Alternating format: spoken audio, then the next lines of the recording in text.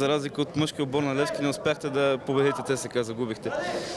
Еми, а, те бяха по-организирани и по-добър състав, по-млади. Ние не успяхме да се събереме, така че нормално на тази възраст да се окаже влияние а, младостта и опита, така и тичането, защото на малки въртички е много важно. Не, че на големи не е важно, но на малки въртички е изключително значение.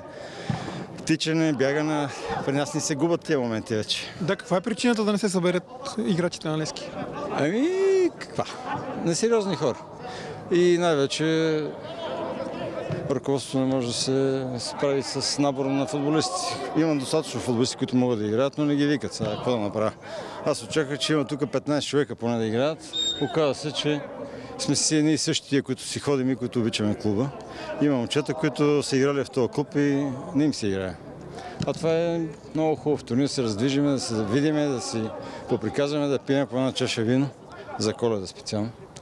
За съжаление, това е положението. Кои бивши футболисти отказаха да дойдат и да играят не заедно с не вас? знам кои са викали, но той Сашо Манов трябва да го питате, защото той се занимава с тази работа, но доста момчета са обещали и не дойдох, което не им прави чест. Имате ли усещането, че Левски като клуб малко позагърби някои от ветераните си напоследък? Знаете, всичко почна от тази история с юбилейните календари. Вижте, аз доста ме питаха ваши колеги не искам да разговарям. Обидно е, действително обидно, защото в футбола има статистика, има книжки, които футболна клуб Левски ги издава и там пише кой какво е дал и какво е играл. А, колко време е играл, колко матча в голове и така нататък. Жалкото е, че а, така, в, някои, в някои моменти така, се чувстваме пренебрегнати, но аз мисля, че това е нормално в нашата държава. Хората, които работят, които са дали нещо за клубовете си навсякъде, не само в Левски. Аз съм разговарял и разговарям с много мои колеги, бивши, които са в други клубове. Също отношението към тях и в другите клубове. Така че Жалко е, че футболните клубове се управляват повечето от хора, които нямат нищо общо с футбола и може би това е причината. А, защото а, по мое време, по мое време, говоря 80-те години, имаше някакъв ред, имаше хора, които се грижиха за тази работа и а, правеха се и чествания, правеха се и а, така годишни на някои футболисти, които се поздравяваха по един или друг начин с плакети, с значки и така. Тук в момента това нещо почти е забравено.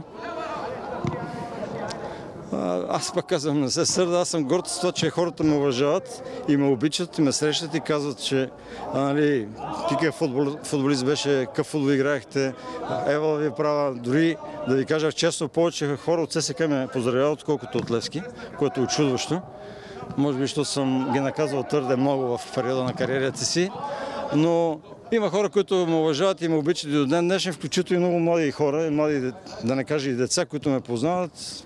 Не знам как и защо и какво, но явно, че хората се интересуват, особено които обичат Левски. Това ми е достатъчно на мен. Колкото до другото, живи и здрави. Не е ли тъжно, господин Спасов, в навечерието на 100 годишнията на Левски, много от а, хората написали синята история, да хорат с сини сърца на Герена и освен това фигура като Наско Сираков заяви, че няма да стъпи повече на този стадион. И не само той. Ами обидно е, обидно е. Аз това, което стана последно с него, действително е страшно обидно и аз съм напълно, са, напълно съпричастен с него и съм съгласен, че не бива така. Това, което говорих преди малко, че всичко се забравя, което е жалко. Това не може да се случи в Манчестър Юнайтед, това не може да се случи в Реал Мадрид, това не може да се случи никъде по света, където се играе и се практикува спорта футбол. Добре, за последно, как ще коментирате в момента състояние на отбора? Идва 100 годишнина. Ами, отбора в последните кръгове така стабилизира играта си и постигна няколко победи, добри победи, от които така отличавам най-вече победата в Разград, което така даде старт на добрата им игра и на мобилизацията и така им вдъхна кораж и сили. И разбира се, на последно место и последния мач за купата, който беше изключително важен, макар и доста трудно, успяха и с Дуспи да победат, което им отваря пътя към финала, където евентуално да вземат квота за Лига Европа. Господин Спасов, как виждате ситуацията с сектора? Тодор Батков призна, че има вероятност трибуната да не бъде завършена до 24 май до година. Аз мисля, че ще оправя всичко. Има доста хора, които ще помогнат на клуба и разчитам, че клуба няма да остави така нещата си. Ще намерят пари, ще го довършат. Тези неразбори, които говорим и в частност лошото отношение към ветераните, не са ли плод на това, че наблюдаваме някакво размиване на отговорност в ръководството на Левски? Имам предвид, Тодор Батков се води собственик, Иво Тонев каза, че отговаря за строежа, Батков не знае пък какво се случва с него, какво осигурява финансите и така нататък. в нещата, нямам представа.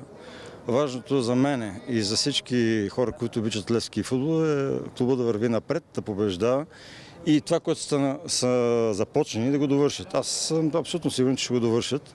С а, как и с какво, вече не мога да кажа, но съм убеден, че ще стане това за май месец. И все пак да завършим оптимистично, какво ще пожелаете на феновете на футбола и в частност в а, тези на Левски за новата година и за новогодишните празници? Аз искрено се надявам на феновете на Левски и искам да пожелая повече радост, защото последни няколко години тя обягва от нас.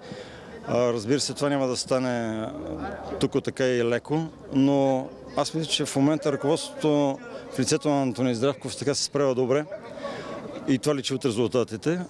Мисля, че хора, които са дали за този клуб, включително и Антони Здравков, са хора, които трябва да работят в Левски.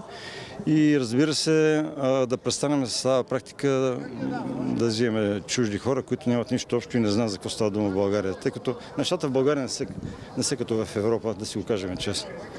Тук с нашите отбори мисля, че може да се оправи да се справи само български треньор, а имаме добри треньори.